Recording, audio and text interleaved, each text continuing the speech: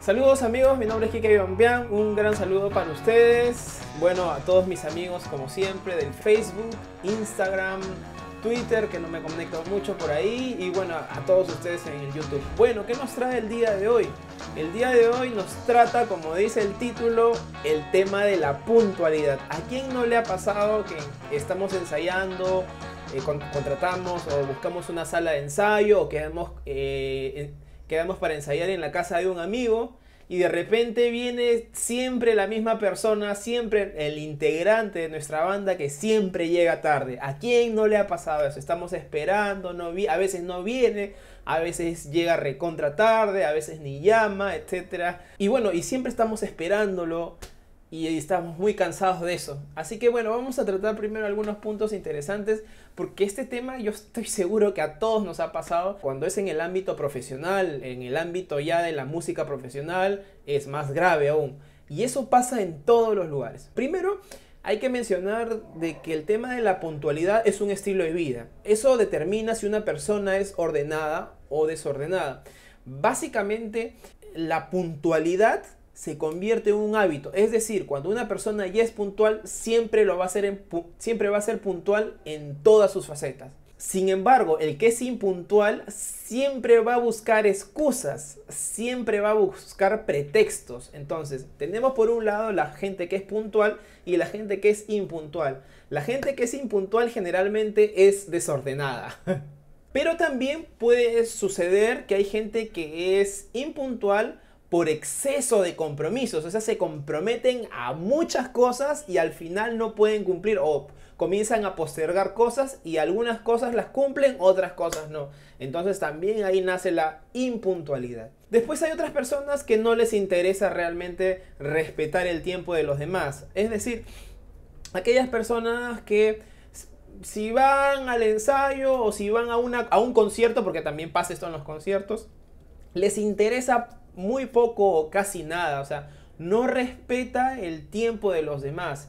Y hay otros también que dicen, y de repente seguro algunos de ustedes será así, dicen, pero ¿para qué voy a llegar temprano al ensayo si ni siquiera han sacado los temas? O de repente algunos dicen, si yo toco muy bien, entonces yo no hay necesidad para qué voy a ir, que ensayen ellos y yo llego más tarde. Eso también pasa. Entonces, es muy importante estas eh, premisas que estamos dando para poder centrarnos más adelante en qué medidas podemos tomar y qué, si yo soy impuntual, qué medidas debo de tomar. Ahora, como decía al principio, a veces sucede de que somos impuntuales con nuestra banda, nuestra banda, nuestros patas, nuestros amigos, nuestros bros, etcétera, etcétera. Y a veces no todos los amigos tienen las mismas características, el mismo temperamento. Algunos aguantan la tardanza, otros no. Eso lo vamos a ver dentro de un ratito. Pero, ¿qué pasa si es en el trabajo? Si es en el trabajo, ahí estamos en graves problemas. Porque después vamos a tener falta de credibilidad, podemos perder el trabajo. ¿El trabajo de qué? ¿De músico? Sí, por supuesto. Estamos hablando de la música. Obviamente lo que estoy diciendo ahora se puede aplicar a otros en otros, en otros ámbitos, por ejemplo en la universidad, en el colegio, etc. En la familia, en el hogar.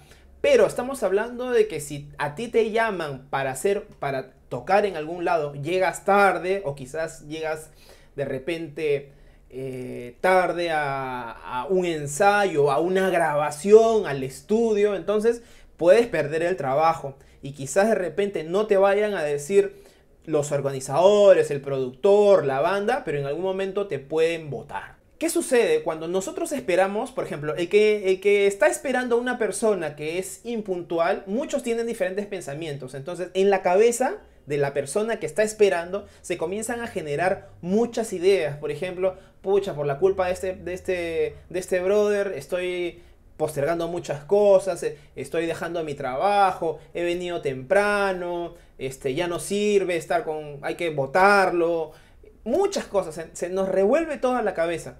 Entonces, uno se enfada, uno se, se incomoda. Como les decía hace un momento, hay algunos que de repente son más pasivos, pero otros de repente no dicen nada, pero están dando vueltas en la cabeza. Pucha, otra vez estamos esperándolo, siempre es lo mismo.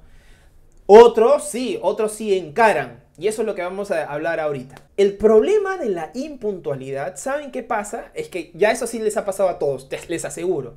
El problema de la impuntualidad es que eso contagia. Si es un cantante o alguien que acompaña, no hay ningún problema. Pero si es una banda de cuatro o de cinco personas, ahí viene el problema. Pero esto es, el tema es que se contagia.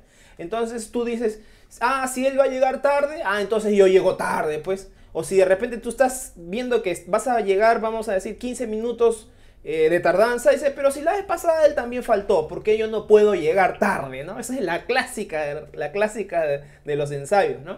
Entonces, acá tienes muchos problemas, porque si es la casa de tu amigo, eh, de repente él ha pedido permiso para un tiempo determinado. Pero si es una sala de ensayo, un estudio de grabación, está corriendo el dinero. Y eso es no solamente desconsideración del tiempo, sino desconsideración a la banda por el tema económico. Entonces, ¿qué es lo que tenemos que hacer con las primero con las personas impuntuales? Tenemos que decir, ¿sabes qué, compadre? Esto me incomoda, nos molesta la banda. Lo primero que tienen que decírselos, no pueden quedarse callados. Lo segundo que deberían decirle a esta persona impuntual, y nosotros, si somos impuntuales, tendríamos que aceptar, es decir, decirle, ¿sabes qué? Nos gustaría que llegues siempre a la misma hora, a la hora puntual. Si es posible, cinco minutos temprano, antes. Claro, como alguien diría, no, esto es tirarle peras al olmo. Por las puras le vas a hablar porque él siempre llega tarde, pero tienen que decirlo. Primero tienen que decirle su incomodidad. Segundo, tienen que decirle que les gustaría o que nos gustaría que llegues temprano. Y lo otro es, lo más importante creo, ¿ah? es no reforzarle. Es decir, no reforzarle su impuntualidad. ¿Qué quiere decir eso? Es decir, si ustedes tenían pactado ensayar de 5 de la tarde a 7 de la noche, Ustedes no, no, van, no van a esperar a que él venga para poder ensayar. Así sea el cantante o así sea la primera guitarra. Así sea el baterista. Ustedes empiezan a las 5 de la tarde y terminan a las 7. No les interesa. Si no, ustedes van a reforzar más a ese que está llegando impuntual. Y si es una tocada, por ejemplo, es una tocada y de repente no llega el cantante, chicos, empiecen para que la gente que está delante de ustedes digan, ah, estos son puntuales, estos sí vale la pena. No es el cantante, la gente los va a buchear, pero ustedes han cumplido, están cumpliendo. Entonces, claro, en un concierto es más peligroso, quizás, pero en un ensayo ustedes empiecen. Si es en la casa de tu amigo o en la casa del baterista o si es en, una sala de ensayo, empiecen, por favor. Si no, si comienzan a esperar a esa persona que es impuntual, ustedes están reforzándole su impuntualidad. Así que cuando tengan que empezar, empiecen. Ahora, Claro, definitivamente esto nos saca de quicio. Ahora, el cerebro, como les dije, comienza a pensar muchas cosas malas con respecto a esta persona y también con respecto a mi persona. Esto no está justificado, eh, estoy perdiendo el dinero, para él es normal, pero para mí no. Y como es una banda, entonces algunos en la banda tienen ciertos roles, ¿no? No porque está predispuesto todo. O sea, por ejemplo, siempre en una banda hay el que llega tarde, por ejemplo, el impuntual. Pero siempre hay, una, hay alguien en la banda que es el, el que pone todo, el que quiere llevar a la banda hacia adelante. Hay otro de repente que es el positivo, otro que es el negativo. De repente, esto es como una familia, ¿me entienden? Entonces, si ustedes tienen un grupo, entonces esos roles, por ejemplo, el rol del impuntual hace perder mucho tiempo. Yo sé que en toda banda siempre hay alguien que empuja y que trata de llegar siempre temprano a los ensayos. De repente hay otro que sí se preocupa por sacar bien las canciones, las letras, otros no, ¿no? Pero siempre hay alguien que es más impuntual que el otro. Entonces, ese tipo de roles, al impuntual hay que decirle que no sea impuntual y decirle las cosas bien en claro, que puede correr el riesgo de salirse de la banda. Esto es algo que a muchas personas sobre todo eh, cantantes, sobre todo productores de talla mundial han tenido que expulsar a estas personas que son impuntuales. Yo conozco muchos músicos que son impuntuales con respecto a los compromisos de bandas, con los compromisos de trabajo profesional. ¿Qué hacer? ¿Cómo solucionar el tema de la impuntualidad para mis amigos que son impuntuales?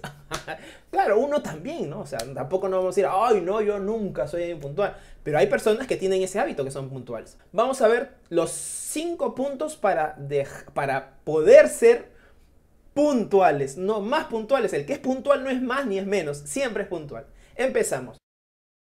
Número uno, reconocer que eres impuntual. Es importantísimo, es clave. ¿Por qué? Porque si tú no lo reconoces, siempre vas a poner excusas de todo. No porque el tráfico, no porque, porque tuve que hacer algún compromiso con la familia, me, me sentí mal y así que tuve que ir a la farmacia por X motivos. Entonces, si tú reconoces eso, vas a entender que el valor del tiempo para ti y para los demás es importante, es clave. Una cosa con respecto a esto de reconocer que soy impuntual es sobre todo esas personas que saben qué hacen, ponen su celular 5 minutos adelantado o 20 minutos adelantado. ¿Saben que Eso es una falta de respeto contigo mismo. ¿Por qué? Porque no hay necesidad, porque siempre vas a buscar una excusa para llegar tarde.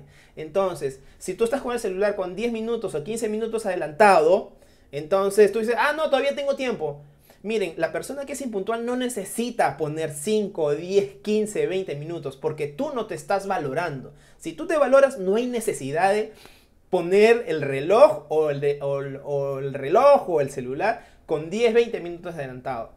No sirve, la verdad es que si eres impuntual eso no sirve. Por eso es importante reconocer que eres impuntual.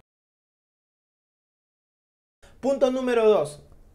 No te llenes de compromisos, no llenes tu agenda. Hay personas que son así, ¿no? Te dicen, ¿sabes qué? Quiero que me hagas una. O sea, puedes poner las cuerdas a mi guitarra. Ya, perfecto, hermano. Pum. Te llaman por teléfono y te agarran y dicen, ¿sabes qué? Ahorita necesito que me mandes los archivos MP3. Ay, ay, ay, así también lo hago. Y te comienzas a llenar un montón de cosas y hay muchas cosas que no vas a poder cumplir. Aprende a decir que no. Los impuntuales muchas veces dicen sí a muchas cosas, pero hay que aprender a decir no. A veces cuando como lo vamos a hablar otro ratito con respecto a la agenda. Si ya tú tienes una agenda, apunta cosas. Y después las cosas que definitivamente no vas a poder hacer por tu cantidad de tiempo, tú tienes que tenerlas bien en claro. Desde que ya te están diciendo, sabes que no puedo porque la verdad es que mi agenda está full, ¿ok? Yo sé que esa, esa, esa palabra de mi agenda está full, todos los músicos profesionales la tienen. Pero aprende a decir que no, sobre todo si tú tienes tu banda, quieres darle fuerza, darle punche punche, más fortaleza a la, banda. Entonces, aprende a decir que no a cuando tengas muchos compromisos. Para eso es necesario también que postergues algunos, pero en vez de eso, mejor no aceptes ninguno. Entonces, en este caso sí sirve tener una agenda. En este caso significa poner una agenda. No necesariamente una agenda física, puede ser una agenda virtual. Tú puedes agarrar el celular, el Google, tiene para, tiene para poner el micrófono, tú hablas y ahí va digitando toda tu agenda sin necesidad de hacer muchas cosas. O sea, te puedes ayudar a la tecnología. Punto número 3. Miren, esto es más difícil todavía, pero se puede hacer. Levántate temprano y acuéstate temprano. No te levantes tarde ni te, acuerdes, ni te acuestes tarde. Está comprobado que las personas exitosas se levantan temprano. Eso es de ley. Yo sé que es difícil porque la mayoría de nosotros los músicos, no solamente porque trabajamos tarde, sino que también cuando, nos practicamos, practicamos generalmente a horas avanzadas de la noche. Pero es muy importante tratar de cambiar eso y tratar de practicar muy temprano cuando la mente está lúcida. Esto es ciencia, esto no les estoy inventando. El cerebro cuando se levanta temprano, te duchas y todo, y comienzas a practicar, tu mente está mucho más lúcida, no está con tantos pensamientos. Entonces, la verdad que te vas a dar cuenta que vas a fluir más rápido, sobre todo cuando tienes que estudiar las partituras. Eso es clásico, o cuando tienes que escuchar las canciones. En cambio, cuando es muy de noche, salvo que si estás muy acostumbrado, pero la idea es hacer eso. Por eso recuerden de que eso no lo digo yo, está clarísima en todas las estadísticas que las personas exitosas en promedio se levantan mucho más temprano el común. Ahora, como les decía hace un momento, tienen que aprovechar también la tecnología. ¿Por qué les digo que aprovechar la tecnología? Para eso sirven las alarmas. Puedes tener dos alarmas, por ejemplo, cuando tienes que llegar a, unas, un compromiso, a una, cuando tienes que llegar al estudio de grabación. Pon tu alarma y sabes lo que tienes que hacer. Pon tu alarma cuando tienes que salir, o sea, que suene tu alarma cuando tengas que partir al estudio. Y la otra, cinco minutos antes del punto de inicio que va a empezar el ensayo. Entonces, con esas dos alarmas tú vas a poder acostumbrarte y vas a poder hacer un hábito con eso. Punto 4. Siempre llega 15 minutos antes de cualquier ensayo o antes de cualquier compromiso. Pero tú me dirás, Kike, no, eso es imposible, ¿sabes por qué? Porque yo llego temprano y todos llegan tarde. Pues es el momento de que tengas bien en claro una cosa. No es problema tuyo, es problema de ellos. Tú dices, ah, pero estoy perdiendo mi tiempo. Pero tú puedes llevar tu agenda, tu libro, puedes estar con tus partituras, puedes estar con un programa para practicar más música, para ir practicando tus canciones, tus estudios, etc. Entonces, esos 15 minutos que vas a llegar antes es para estar puntual, pero también, ¿para qué? Para, si es los que los demás llegan tarde, para que tú puedas estar practicando cosas que tenías pendientes, o sea, tus pendientes. Ahora, si tú tienes una tablet, mejor aún, pero si tienes, estás con tu instrumento, puedes hacer tus estudios de la universidad, de la academia, de tu profesor que te está enseñando, o puedes ir sacando otras partituras, puedes ir avanzando cosas. Entonces, la puntualidad también sirve, eso es algo importantísimo.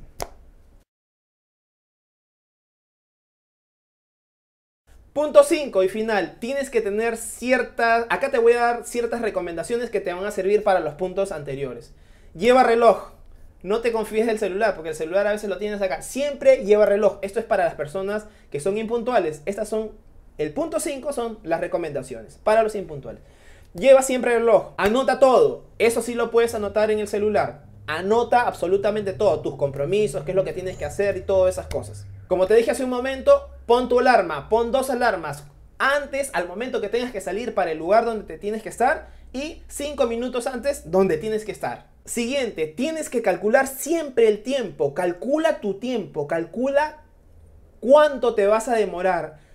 Tienes que tener un margen. Si sabes que el tráfico está terrible, si sabes que de repente estás saliendo de la universidad y de ahí te tienes que ir al ensayo, o si estás llegas a tu casa, tienes que almorzar, calcula, aprende a calcular todos esos tiempos para que tú puedas hacer un margen también de error. Unos muchos dicen, ucha, llegar al ensayo porque pasó algo en mi casa. Mira, pero es que no dejaste un margen que te permita eh, flexibilizar el tiempo y llegar temprano. Si tú calculas el tiempo, vas a poder organizar mejor. Recuerden que cuando somos eh, impuntuales es porque esto está clarísimo que no somos ordenados. Siguiente, también fíjate, analiza en qué estás perdiendo el tiempo, qué es lo que te consume más tiempo. Y por último, establece un, un punto de orden. ¿Qué cosa es un punto de orden? Un lugar donde vas a dejar tus llaves, un lugar donde vas a dejar tus guitarras, un lugar donde tú vas a dejar tus herramientas, un lugar donde tú vas a dejar tus efectos, un lugar donde tú vas a dejar tus cables. Un, siempre establece un lugar, un punto de orden, tus llaves, tu billetera. Si tú no estableces un punto de orden desde ahorita, desde que estás viendo este video, por más que hagas todo lo anterior, siempre vas a fallar. Porque imagínate, tienes el ensayo de aquí a 5 minutos, no sabes dónde está tu billetera, no sabes dónde están las, tus púas, porque las púas siempre se pierden. Yo siempre he dicho que existe un duende que se roba las púas. Así que bueno, un gran saludo amigos, espero que les haya gustado un video. Nos vemos.